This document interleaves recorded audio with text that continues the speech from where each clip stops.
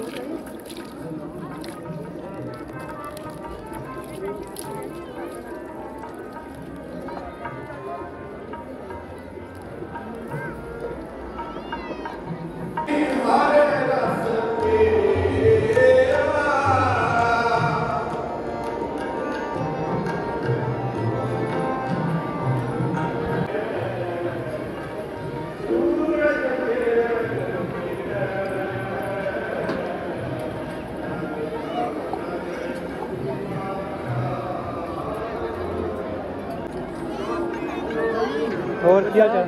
ਗੁਰੂ ਘਰ ਸਾਨੂੰ ਹਰਮਨਵੀਰ ਵੀ ਮਿਲ ਪਏ ਆ। ਆਜਾ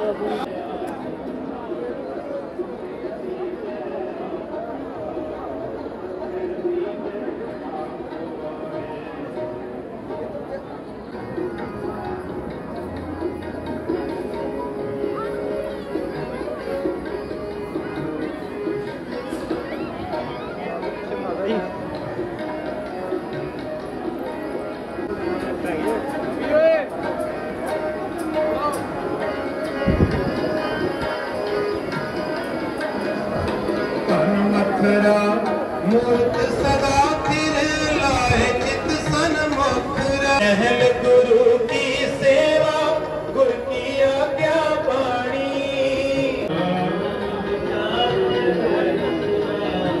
मत विचार है मथुरा जगता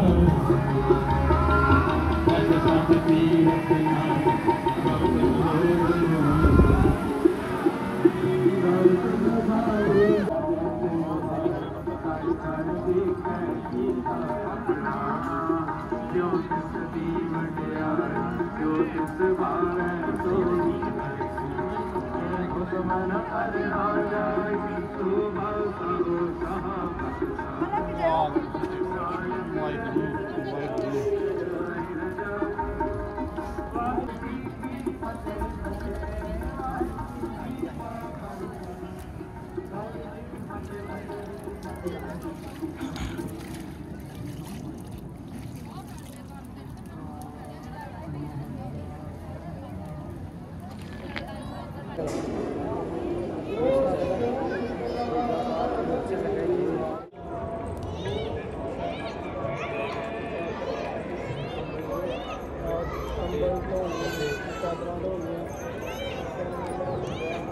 ਅੱਜ ਸ੍ਰੀ ਗੁਰੂ ਅਰਜਨ ਦੇਵ ਜੀ ਦਾ ਸ਼ਹੀਦੀ ਦਿਹਾੜਾ ਅਸੀਂ ਤਰਨਤਾਰਨ ਸਾਹਿਬ ਦਰਬਾਰ ਸਾਹਿਬ ਗੁਰੂ ਅਰਜਨ ਦੇਵ ਜੀ ਦੀ ਸ਼ਹੀਦੀ ਨੂੰ ਯਾਦ ਕਰਦੇ।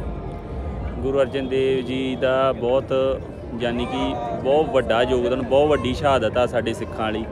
ਤੇ ਜਿਨ੍ਹਾਂ ਦਾ ਅਸੀਂ ਦੇਣ ਨਹੀਂ ਦੇ ਸਕਦੇ ਸਾਡੇ ਬਾਪੂ ਜੀ ਸ੍ਰੀ ਗੁਰੂ ਅਰਜਨ ਦੇਵ ਜੀ। ਤੇ ਇਹਨਾਂ ਦੀ ਸ਼ਹੀਦੀ ਨੂੰ ਕੋਟੀ ਕੋਟੀ ਪ੍ਰਣਾਮ। ਅਸੀਂ ਉਹਨਾਂ ਨੂੰ ਯਾਦ ਕਰਦੇ ਹੋਏ ਅੱਜ ਇੱਥੇ ਨਤਮਸਤਕ ਹੋਣ ਆਏ ਆ ਤੇ ਤੁਹਾਨੂੰ ਵੀ ਅਸੀਂ ਦਰਸ਼ਨ ਕਰਵਾਏ ਆ।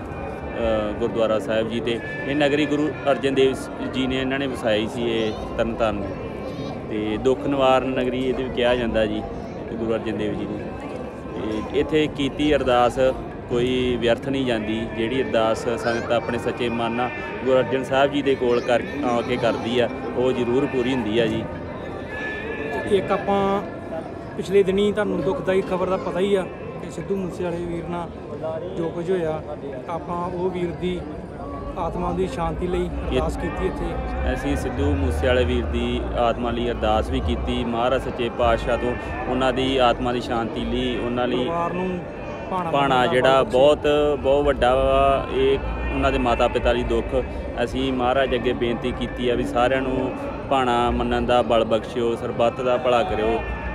ਤੇ ਆਪ ਸਭ ਵੀ ਹਰੇਕ ਗੁਰਦੁਆਰੇ ਕਿਤੇ ਜਾ ਕੇ ਤੇ ਅਰਦਾਸ ਜ਼ਰੂਰ ਕਰਿਓ।